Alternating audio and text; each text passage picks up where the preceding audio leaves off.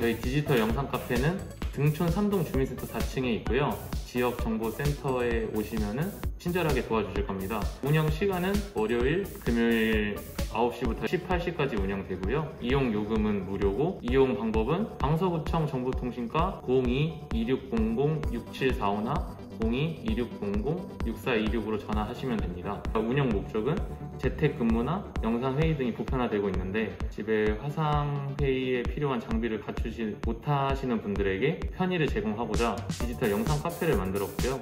실내가 밀폐된 공간임에 따라서 손소독제나 체온계 등을 배치해서 항상 방역에 신경 쓰고 있습니다. 대형 모니터랑 네, 웹캠 등 필요한 모든 장비를 구비하고 있으니 언제든 연락 주시고 촬영해 주시면 감사하겠습니다.